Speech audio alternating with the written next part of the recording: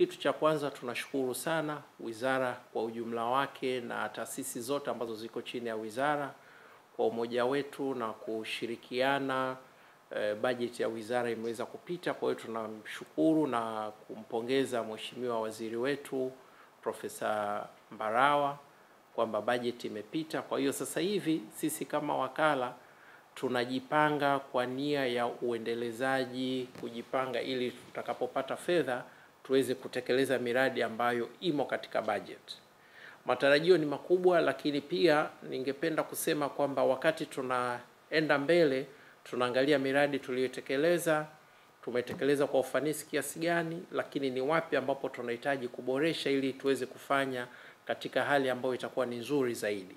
Na hii ndio lengo la wakala kwamba tunajenga, lakini nia yetu ni kuhakikisha kwamba kila tunachokifanya katika miaka inavyokwenda tunakuwa bora zaidi.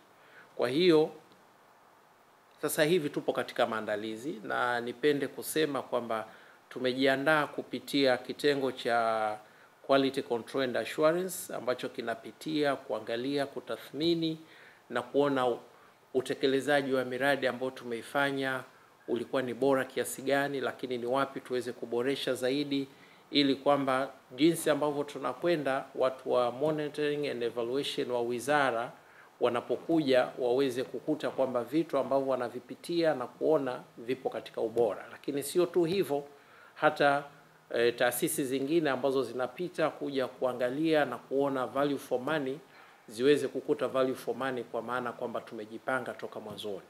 Kwa hiyo hivi sasa tunajipanga katika miradi ambayo tunategemea kuitekeleza.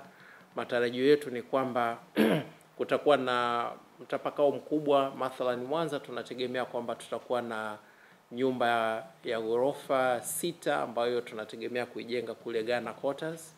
Uh, lakini pia tunategemea kuendelea kupata fedha kwa ajili ya utekelezaji wa mradi ambao ni watemeke kama ambavyo nimesema, kwa sababu ni mradi ambao ni endelevu na miradi mingine mingi ambayo ipo kwenye budget.